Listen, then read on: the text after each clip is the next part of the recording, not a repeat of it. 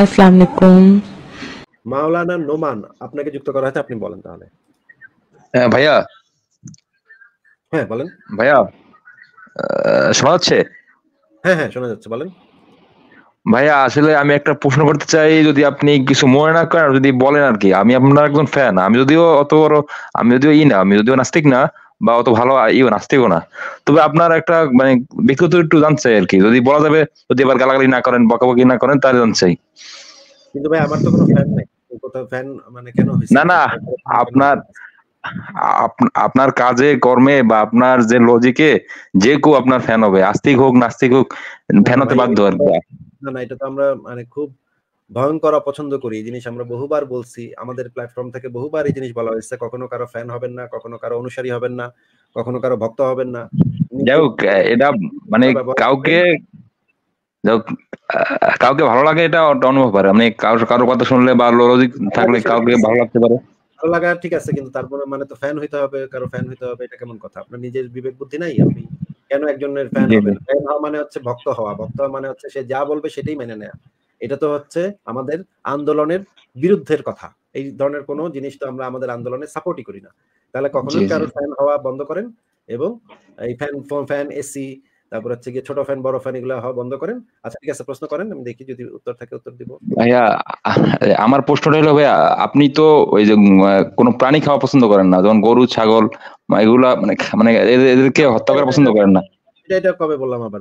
প্রাণী খাওয়া পছন্দ। করি না এটা আমি কখন বললাম ভাই প্রাণী খাওয়া সেটা না আপনি আপনি আপনি প্রাণী হত্যার বিরুদ্ধে আর কি না একটু তাই না? ওয়েট করেন একটু ওয়েট প্রথমে আপনি বললেন আপনি কোনো প্রাণী খাওয়া পছন্দ করেন না একটু পরে ঘুরে sorry. বললেন- একটু পরে কথাটা ঘুরে আচ্ছা।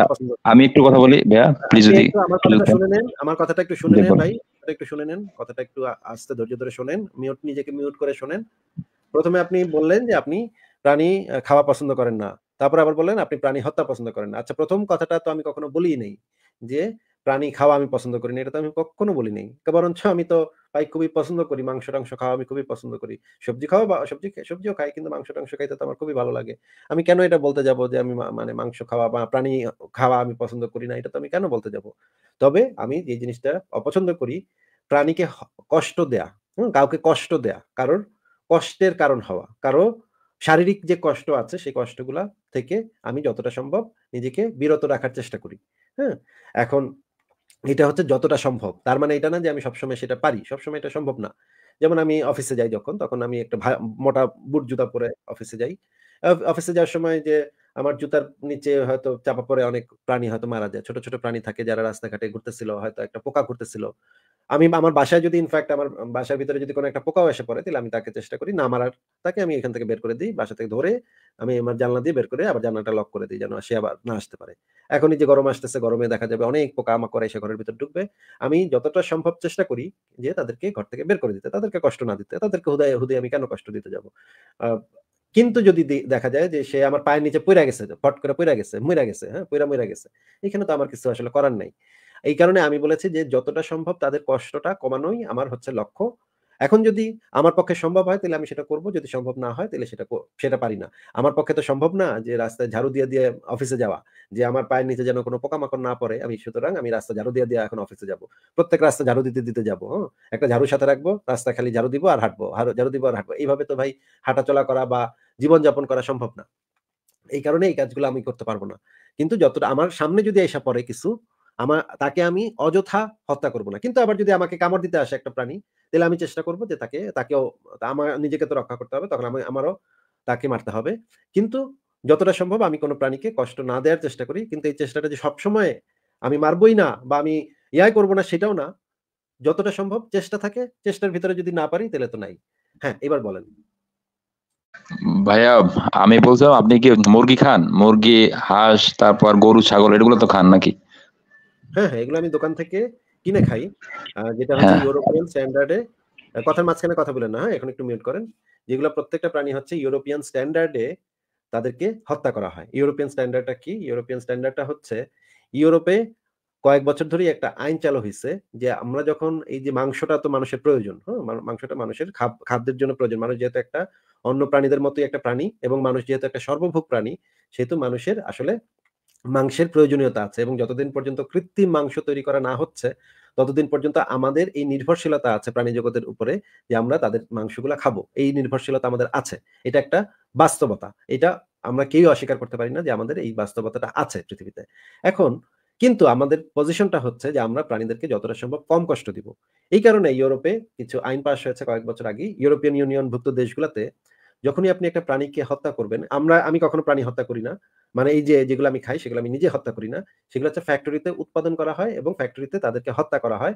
হত্যা করার সময় যে জিনিসটা দেখা হয়, তারা যেন কোনো ধরনের কষ্ট না পায় হ্যাঁ? তারা যেন কোনো ধরনের কষ্ট না পায়। এই জন্য ইউরোপের যে স্লটারিং সিস্টেমটা সেই সিস্টেমটা আইনগতভাবে একটা নতুন সিস্টেম চালু করা হয়েছে যে এই ইউরোপের মানে ইউরোপিয়ান দেশভুক্ত দেশগুলাতে যখনই কিছুকে স্লটার করা হবে, তখন কোনো অবস্থাতেই যেন তাদের কষ্ট দেয়া না হয়। এই জন্য কি করা হয়? ফার্মে যে গরুগুলা ইয়া করা হয়, সেই গরুগুলার মাথার ভিতরে একটা ছোট বুলেটের মতো আছে। প্রথমে সেখানে একটা ছোট টুক করে একটা শব্দ হয়, খুব আস্তে অল্প ব্যথা মানে একটা খোঁচা লাগার মতো একটা ব্যথা হয়। এইটা দেয়া হয় বুলেটের মতো দেয়া হয়। এটা দিলেই সেই প্রাণীটা নিস্তেজ হয়ে যায়। তার সে আর কোনো ব্যথা পায় না। তার এই যে, যেমন আমাদের যখন অপারেশন হয়, তখন যে অ্যানেস্থেশিয়া দেয় সেরকমের একটা জিনিস দিয়ে দেওয়া হয়। তখন তাদের, তারা নিস্তেজ হয়ে যায়, তখন তারা আর ব্যথাটা অনুভব করে না। এরপরে তাদেরকে হত্যা করা হয়, তাদেরকে জবাই করা হয়। এই হত্যাটাতে তারা সেই ব্যথাটা পাচ্ছে না যে ব্যথাটা বাংলাদেশে মনে করেন যে কোরবান গরু কোরবানি দিতেছে, সেই তখন যে গড় করে জবাই করতেছে, সবাই মিলে হাত, পা ধৈরা চাইপা, এই ব্যথাটা তখন আর সেই প্রাণীগুলা পায় না। সেই প্রাণীগুলা খুবই আরামের সাথে মৃত্যুবরণ করে। আমাদের যেহেতু মানে মিশনটা হচ্ছে তাদেরকে যতটা সম্ভব কষ্ট কম দেয়া এখানে কষ্টটা কম দেয়াই হচ্ছে। কিন্তু আমাদের আরেকটা নির্ভরশীলতা আছে যে তাদের মাংস আমাদের দরকার এই জন্য তাদেরকে কষ্ট কম দিয়ে আমরা সেই মাংসটা সংগ্রহ করি। হ্যাঁ এবার বলেন। আচ্ছা ভাইয়া হ্যালো? হ্যাঁ হ্যালো? আচ্ছা ভাইয়া ধরেন কেউ মাংস খাইলো না মানে গরু ছাগল খাইলো না আমরা শুধু শাকসবজি খাইলাম। তো ভাই ওই যে ওই যে গাছপালা তো প্রাণ আছে ও ওদেরও না মানে দুইটা ইন্দ্রিয় কম কিন্তু ওরাও তো কষ্ট পায়। তাহলে আমরা খাব কি? সেটাই প্রশ্ন। ওরা কষ্ট পায় না ভাই। গাছপালার কোনো নার্ভাস সিস্টেম নাই কোনো ব্রেইন নাই। এই কারণে তারা কষ্ট পায় না। ভাইয়া আমি তো শুনেছি যে বিজ্ঞানীরা আবিষ্কার করছে গাছপালারও কষ্ট হয় গাছপালারও ইয়ে আছে মানে কষ্ট অনুভব করে। ভাই কষ্ট পাইতে হলে একটা নার্ভাস সিস্টেম থাকতে হয় এবং একটা ব্রেইন থাকতে হয়। ব্রেইন যে থাকতে হয় ব্রেইনটা কই পায়? এটা আপনি জানেন? যে মানে মানুষ কষ্টটা কই পায় এটা জানেন? হ্যাঁ কষ্ট কই পায় সেটা জানি। মনে করেন আপনার হাতে একটা গুলি লাগছে। আপনি কষ্টটা আসলে হাতেই পাইতেছেন কিন্তু এই যে কষ্টের মানে অনুভূতিটা আপনার কোথায় হচ্ছে আসলে সেটা হচ্ছে আপনার ব্রেইনে নাকি? জি জি। মনে করেন আপনার হাতে একটা গুলি লাগছে। এখন আপনার হাতে অ্যানেস্থেশিয়া দেয় যে শুনছেন না ভাই? অ্যানেস্থেশিয়া অপারেশনের সময়? জি জি জি। ওই আপনার হাতে একটা অ্যানেস্থেশিয়া দিল। আপনার ব্যথা একদম কমে যাবে তাই না ভাই? জি। তার মানে ব্যথাটা কমে যাবে মানে কি? ব্যথা কিন্তু তখনও আছে গুলি কিন্তু তখনও আছে। আপনি কিন্তু আপনি ব্যথা পাইতেছেন না। মানে কি? এটা মানে কি বলেন তো? মানে ই করা হয়। যাই হোক এটা আমি ভালো বুঝি না। তবে আপনি কি শিওর যে এটা একটু আমাকে এটা একটু আমাকে আর কোনো অন্য প্রসঙ্গে যায় না। এটা আগে শেষ করে নেন। এই যে আপনার হাতে মনে মনে করেন আপনার পেট ফাইরা দিল ডাক্তারে কিন্তু একটা ইনজেকশন দিয়ে দিচ্ছে আপনি কোনো ব্যথাই পাইতেছেন না টেরি পাইতেছেন না। বা মনে করেন আপনার পায়ের হাঁটু হাঁটু ভেঙা কাইটা ফেলতেছে পা কাইটা ফেলতেছে। ওই একটা ইনজেকশন মেরে দিছে আপনি খুব আরামসে বিড়ি টানতেছেন, এদিকে আপনার পা কাটতেছে, আপনি কোনো হুশ নাই, আপনার কোনো খেয়ালই নেই কি হইতেছে। এই যে পায়ে তো আপনি পায়ের ব্যথার ঘটনা তো ঠিকই ঘটতেছে, কিন্তু আপনি পাইতেছেন না। এটার মানে হচ্ছে যে ওই যে ওইখানে ঘটনা ঠিকই ঘটতেছে, কিন্তু এখান থেকে যে নার্ভাস সিস্টেমের মাধ্যমে যে ব্যথার অনুভূতিটা আপনার মাথায় পৌঁছানোর কথা, ওই যে যে ইনজেকশনটা দিতেছে, সেই ইনজেকশনটা দিয়ে আপনার সেই অনুভূতিটা মাথায় পাস হওয়াটা বন্ধ করে দিতেছে। ঘটনা কিন্তু এখানে কাটতেছে, করতেছে কিন্তু ঠিকই, তাই না? নোমান ভাই? বলেন তো? জি জি জি জি। কাটাকুটি কিন্তু এখানে ঠিকই চলতেছে কিন্তু আপনার ব্রেইনে যে সিগন্যালটা পাঠানোর কথা সেই ব্রেইনের সিগন্যালটা বন্ধ করে দিচ্ছে এই জন্য আর আপনি কষ্ট পাইতেছেন না। এই ব্রেইনে সিগন্যালটা পাঠানোটা যদি বন্ধ করে দেওয়া যায় কোনোভাবে তাহলে সে আর ওইখানে কষ্ট পাবে। এই যে আমাদের কিছুদিন আগে একজন সারা পৃথিবীর সবচেয়ে বড় বিজ্ঞানী স্টিফেন হকিং মারা গেল। ওনার কি সিস্টেম মানে একটা সমস্যা ছিল শরীরে একটা সমস্যা ছিল যে ওনার যে মানে এখান থেকে মস্তিষ্কে সব এগুলা সবকিছু পাস হইতো না। এই কারণে সে তার শরীরে ব্যথা মাল মানে ব্যথা দিলেও সে এত ব্যথা পাইতো না। তার একটু এই সমস্যাগুলো ছিল তার। এরকমের অনেক সমস্যা আছে যে ব্রেইনে সেই মানে ব্যথার বেদনা ব্যথার অনুভূতিগুলো পাস হয় না। পাস হওয়াটা বন্ধ করে দিতে পারলেই আপনি আর ব্যথা পাবেন না। তার মানে মানুষের যে ব্যথা, বেদনা, অনুভূতি এগুলো সব হচ্ছে ব্রেইনে কাজ করতেছে। ব্রেইনে আসাটা বন্ধ করে দিলে সেই আপনাকে যখন কেউ টাচ করে, হাতে টাচ করে, তখন সেই টাচের আপনার চামড়ার ভিতরে নার্ভাস সিস্টেম থাকে। সেই নার্ভাস সিস্টেমটা আপনার ব্রেইনে খবরটা পাঠায় যে তখন আপনি টের পান যে আপনাকে টাচ করা হয়েছে এই ব্রেইনটা যদি ব্রেইনে আসাটা এই সিগন্যালটা আসাটা যদি কোনোভাবে বন্ধ করে দেওয়া যায় তখন আপনার হাতে বাইরাক না ধরুক না কাইটা ফেলুক আপনি কিছুই টের পাবেন না। তার মানে সমস্ত কিছু নিয়ন্ত্রণ করতেছে আপনার ব্রেইন নাকি? মাওলানা ভাই বলেন তো? জি, জি, জি, জি। ভাই আমি কিন্তু মাওলানা না আরকি। আপনি ই দেখে যুক্ত করবেন দেখে মাওলানা লাগাইছি। আচ্ছা, তাহলে আমরা বুঝতে পারলাম ব্রেইনের এগুলো হচ্ছে সব ব্রেইনের ফাংশন। এখন যদি গাছপালার কি ভাই ব্রেইন আছে?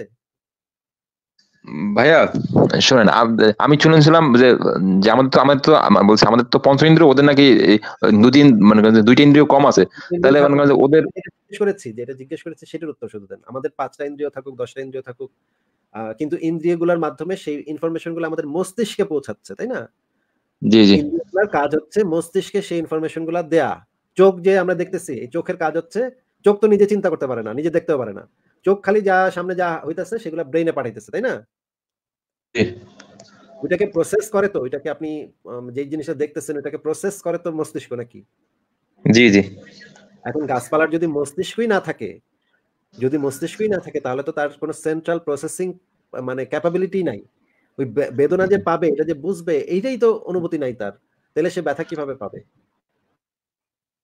না শুনেন ভাইয়া ওই যে আমাকে একজনে জিজ্ঞেস করছে আপনার কাছে একটা প্রশ্ন জিজ্ঞেস করছে করছে যে আমা আমি আর আমার ভাই আমি আর আমার আমার এক ভাই আছে প্রতিবন্ধী।